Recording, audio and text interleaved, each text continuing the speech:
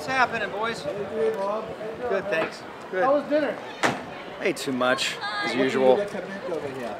Uh, steak, lots of desserts, Nice.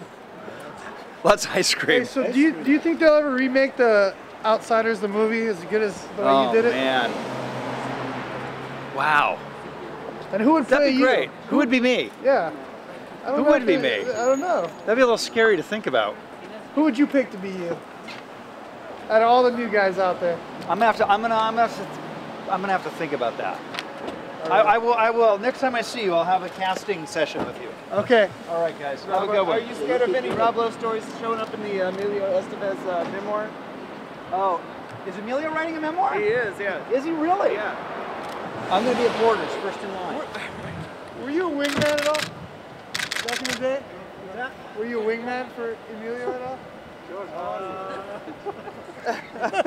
All right on that one. All right, man. Thanks. Thanks, Rob. Have a good night. One goddamn frame.